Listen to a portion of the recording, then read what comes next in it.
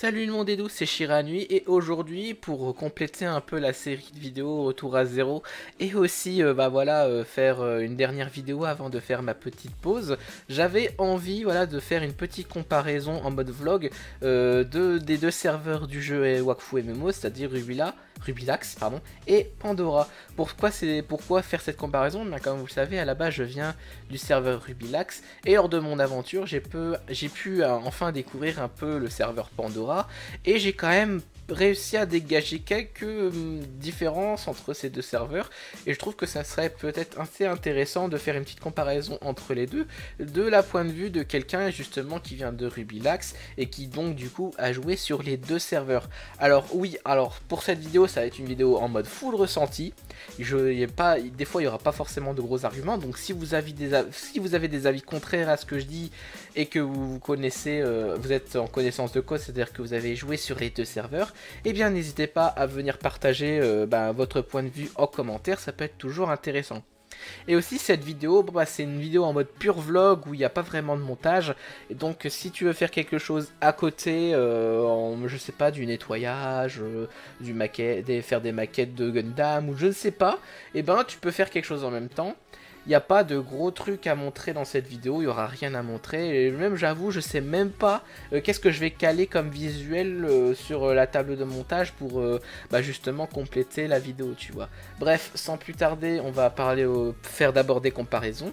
Et ensuite, on va parler aussi de mon avenir lorsque je reprendrai le jeu, de si je reste sur Pandora et sur Rubilax. Alors, la première comparaison qui me semble intéressante à prendre en compte, c'est au niveau de la communauté.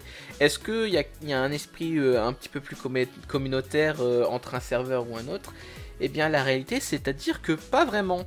En fait, euh, que ça soit sur Pandora ou que ce soit sur Rubilax, vous trouverez toujours des gens déter pour euh, faire des guides, pour parler du jeu, pour s'amuser, pour donner des tips, etc. Et finalement, il n'y a pas vraiment voilà, de, de grosses disparités entre les deux euh, serveurs en termes de communauté. Les deux adorent le jeu, les deux sont assez déter pour en parler et puis euh, pour partager un peu leur savoir. Et euh, tout se passe bien. À vrai dire, c'est pas tellement le point de la communauté qui est intéressant à prendre en compte lorsqu'on veut savoir si on veut se lancer sur Pandora ou sur Rubilax, mais c'est à de, si on est capable de s'imprégner très facilement de, la communauté en soi. C'est-à-dire, est-ce que justement la barrière de la langue n'est pas trop euh, énorme pour qu'on soit pas assez dans le délire? Si vous voyez ce que je veux dire. Après, sur Pandora, donc sur Pandora, bon bah la question si vous êtes francophone ne se pose pas puisque Pandora c'est un serveur francophone et de ce fait, ben la majeure partie des gens parlent en français. Donc en fait, quand quelqu'un euh, parle dans le chat, bah vous comprenez très très bien euh, ce qu'il raconte puisque bah, c'est votre langue natale. Si euh, bah, évidemment vous m'écoutez depuis la France ou que vous êtes francophone, évidemment. Donc du coup, de intégrer cette communauté, ça n'a pas de grosses difficultés. En revanche, sur Rubilax, c'est différent. Sur Rubilax, c'est un serveur euh, international. Mais ah, il faut savoir une chose, c'est que à la donc du coup, euh, euh, Rubilax, c'est la fusion en fait de plusieurs serveurs qui étaient déjà considérés comme international. Donc tout ce qui était justement Remington à l'époque, Nox, donc le serveur américain ou canadien, je ne sais plus. il y avait les serveurs aussi latino-américains, les serveurs espagnols, etc. Donc du coup, il y a tout un mélange de tous les serveurs euh, autres que francophones qui ont donné lieu au serveur Rubilax. Et on pourrait penser que du coup sur Rubilax, euh, savoir parler bien anglais permet très bien de s'intégrer euh, dans le serveur, mais en réalité pas du tout, puisque étrangement, même s'il y a quand même pas mal de gens qui parlent anglais, c'est vrai, donc on peut se comprendre, il y a aussi énormément, par exemple, euh, de latino-américains et euh, d'espagnols qui sont assez réticents à utiliser l'anglais au quotidien sur le jeu et qui vont parler, par exemple, H24 soit en espagnol, soit en portugais. Donc du coup, on se retrouve aussi des fois avec des gens qui, euh, dans le chat, sans, sans savoir qui la personne est en face, va se mettre à parler instinctivement espagnol et pas forcément anglais, tu vois. Alors que c'est un serveur international. Donc c'est pour ça que sur Rubilax, si vous voulez vraiment avoir un, vous imprégner vraiment de la communauté, il faut pas seulement parler que et en savoir parler que anglais, mais aussi avoir quelques notions d'espagnol pour euh, bien s'intégrer et euh, se trouver facilement des compagnons euh, d'aventure sur le jeu. Un point qui je trouve intéressant aussi à prendre en compte lorsqu'on veut chercher à savoir si on veut se baser sur Pandora ou sur Rubilax, c'est au niveau de l'économie. C'est-à-dire comment on va pouvoir générer des kamas, si c'est on va générer des bons, de, de, manière efficace des kamas, ou alors est-ce qu'on va pouvoir assez facilement acheter des items euh, pas trop chers à l'HDV par exemple? Et eh bien pour cette réponse c'est très simple, je trouve que Rubilax est un peu mieux dans ce, dans ce, en termes d'économie pour des raisons très simples. C'est que même si les deux prix moyens entre euh, des items entre Rubilax et Pandora sont quasiment les mêmes sur la majeure partie des items, on a quand même une tendance sur Pandora au cassage de prix intensif et euh, lorsque vous mettez en vente un item euh, à l'HDV, bah, vous êtes sûr et certain que le prix sur le long terme va énormément baisser et que plus vous attendez finalement, moins vous aurez de chances de vendre votre item à un très bon prix. Alors que sur Ubilax, quasiment tout se vend. Et surtout, euh, les prix ont tendance à très très peu baisser euh, rapidement. Sauf si vraiment quelqu'un essaye de forcer un maximum avec un nombre d'items euh, astronomiques à casser les prix. Mais ça, ça arrive que très rarement. Et là, on peut se poser, on peut se dire que tout simplement, c'est le fait qu'il y a un petit peu moins de gens sur Rubilax qui fait que justement les prix ont tendance à moins baisser parce qu'il y a moins d'offres par rapport à la demande, mais en réalité c'est pas c'est pas vraiment ça, puisque déjà euh, il faut déjà le prouver qu'il y a moins de personnes sur Rubilax que sur Pandora, et surtout si on compare par exemple ladder euh, du euh, de la pointe du Mont Zenith, on voit que Ogrest est beaucoup plus rapidement calmé sur Rubilax que sur Pandora, donc ça signifie qu'il y a quand même des gens assez déterminés, assez nombreux pour aller farmer l'Ogrest et aller le calmer pour que tout le monde profite des larmes. Donc non, ça peut pas être corrélé avec justement euh, une certaine fréquentation en baisse sur le serveur Rubilax et au contraire on pourrait même argumenter sur le fait qu'il y a peut-être plus de gens sur Rubilax sur Pandora, puisqu'il y aurait justement plus euh, de demandes que. Enfin, plus de, de demandes que d'offres, oui. Et de ce fait, bah, justement, les, les offres euh, s'arrachent assez vite, et donc du coup, n'ont pas le temps de baisser, et sont très très vite réapprovisionnées, et ce qui pourrait expliquer euh, le fait que les prix baissent pas très rapidement sur Rubilax. Donc en soi, je trouve, en vrai, je pourrais pas vraiment expliquer ce qui fait que les prix baissent moins rapidement sur Rubilax que sur Pandora.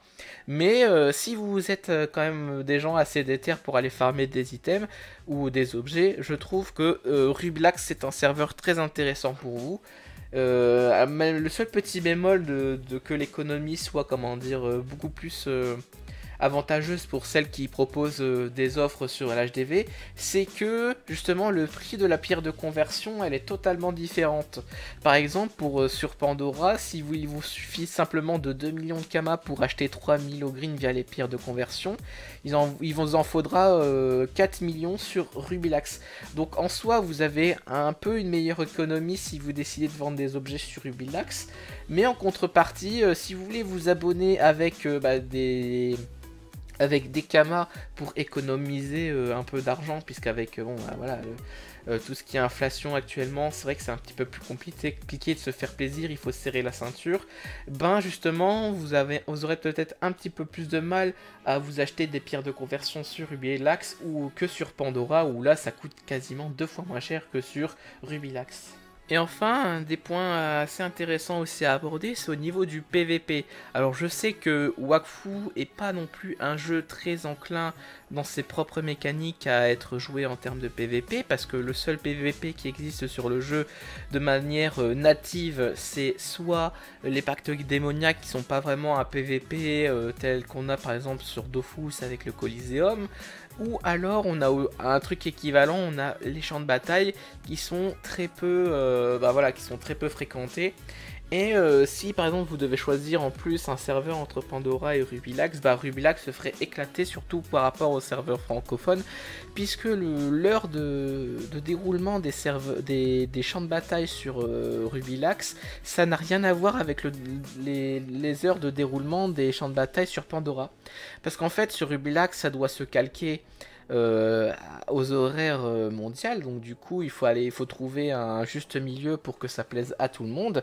Et alors que bon, bah, sur euh, Rubilax, sur Pandora, pardon, on a des heures un petit peu convenables avec du 10h et du 22h. Et ben sur Rubilax, c'est le premier champ de bataille à 4h du mat pour, bah, pour les personnes qui vivent en France, ce qui est bon un peu abusé au niveau horaire. Et sinon, c'est à 16h. Donc en fait, il faut déjà ne pas bosser le, samedi. Et en plus de ça, il faut déjà se lever tôt et euh, avoir euh, des horaires de sommeil assez euh, particuliers pour vraiment profiter pleinement des champs de bataille sur Rubilax. Donc c'est pas un truc qui est forcément très accessible pour les, pour les, francophones et les personnes vivant en France ou même très proches du méridien de Greenwich, si vous voulez mon avis. Mais même sur Pandora, si c'est pas très peuplé, bon bah imaginez sur Rubilax quoi. En vrai, si je parle vraiment de PVP, je parle plus de ce qui est euh, le, plus souvent, comment dire, mis en avant euh, par, euh, par la communauté, c'est-à-dire la WAC League. Vous le savez peut-être, mais il y a un serveur Discord qui s'appelle WAC League qui permet justement d'organiser des combats PVP avec niveau modulé grâce à un bot qui vous permet justement bah, de de, faire du matchmaking et de trouver un adversaire euh, à votre niveau si vous voulez. Et lorsqu'on compare un peu les combats qui sont réalisés, on constate aussi que sur Pandora, il y a quand même beaucoup plus de combats qui sont réalisés que sur Rubilax. Donc si à l'avenir vous décidez de vous mettre euh, au PVP euh, sur la WAC League, eh ben vous trouverez plus facilement des, des personnes à affronter sur Pandora que sur Rubilax. La raison à ça, c'est que bon, bah, les, gens qui gèrent Watt League, c'est des francophones et euh, qui jouent beaucoup sur Pandora. Et euh, j'ai l'impression que la pub n'est pas très très bien passée euh, sur les serveurs Remington. Et c'est un peu dommage parce que les serveurs de la Watt League, c'est, je trouve, une excellente initiative de la part des joueurs pour, compléter, un peu une feature qui, est, bah, qui est totalement laissée de côté depuis très longtemps par les stats, c'est-à-dire le PVP. Et ça, ça fait extrêmement plaisir de voir des, des, initiatives comme ça. Quoi. Du coup, si on fait une petite synthèse de tout ça, si vous cherchez un serveur euh, sans prise de tête où vous pouvez parler facilement euh, votre langue euh, natale, c'est-à-dire le français, que vous, ça vous est égal de faire un, petit moins, un peu moins de kama qu'un autre serveur et que bah, vous, prévoyez peut-être de faire un petit peu de PVP plus tard, eh bien Pandora c'est un très bon serveur pour vous. En revanche, si vous êtes plutôt à l'aise avec les langues étrangères type anglais, espagnol, que vous êtes quelqu'un qui farme énormément euh, et du coup qui cherchez une, économie qui soit profitable pour vous et que bah, ça vous est égal de pas faire de PVP, eh bien Rubilac ça sera un serveur excellent pour vous. Mais bon voilà, après j'ai fait une comparaison de tout ça, mais moi dans tout ça quand je vais revenir sur le jeu je vais être sur Pandora ou sur Rubilax. A vrai dire, lorsque j'ai fait cette aventure des zéros, je me pensais pas vraiment de questions. À la base, je cherchais juste à jouer sur Pandora, ne serait-ce que pour faire une aventure des zéros en vidéo et en live, et de ce fait, je me suis basé sur un serveur euh, où justement je n'avais aucun perso et où je commençais réellement de zéro, c'est-à-dire sans Kama, euh, et euh, justement bah, sans sans personnage déjà créé qui boosterait l'XP des personnages suivants. Donc euh, moi dans ma tête je pensais très sincèrement après avoir fait mon aventure sur Pandora revenir sur Rubilax, mais plus j'avançais dans l'aventure, plus cette certitude elle a été ébréchée. C'est-à-dire que en fait, euh, quand j'y pense, est-ce qu'il y a vraiment énormément de choses qui me retiennent sur Rubilax euh, à l'heure actuelle? Est-ce que j'ai une guilde à gérer sur Rubilax eh ben oui, mais disons que bon, elle fait un petit peu un flop et finalement il y a personne qui vient et qui rejoint cette grille francophone. Donc du coup, bon, ben ça n'a pas vraiment d'intérêt. Est-ce que justement j'ai des kamas pour pouvoir euh, faire des, trucs assez rigolos sur, euh, sur le serveur, comme par exemple me restuffer un peu autrement? Et eh ben pas vraiment non plus, puisque là aussi euh, les kamas sont passés en no green pour acheter de l'abonnement pour l'aventure de zéro. Et si je devais justement me refaire une base de kamas, je devrais refarmer un contenu en boucle et je pense que ça me saoulerait assez vite du jeu, voyez-vous. Et est-ce que euh, j'ai des amis qui m'attendent sur euh, Rubilax Et eh ben là encore pas vraiment. Tous les amis que j'ai connus à la base euh, du serveur Remington ont très vite arrêté de jouer et même si je continue à parler avec eux sur Discord, eh ben ils sont beaucoup moins présents sur le jeu. Et des fois, sur Rubilax, j'ai l'impression d'être un petit peu seul, voyez-vous. Alors que sur Pandora, bah, j'ai encore des choses à faire, j'ai encore du contenu à compléter, j'ai encore des objectifs à tenir. On peut même, je peux même avoir une meilleure interaction avec euh, ma communauté et mon public. Donc en fait, je me demande encore qu'est-ce qui pourrait me retenir à l'heure actuelle euh, de, de, quitter Pandora pour venir sur Rubilax. Mais bon, cette question, j'ai pas encore la réponse. Et cette pause que je vais faire de vidéo, de live pour toucher de l'herbe, je vais aussi m'en servir pour poser le pour et le contre. et puis réfléchir tout simplement à tout ça. Et du coup, savoir qu'est-ce que je fais pour la suite sur le jeu. Bref, c'était Nuit et à bientôt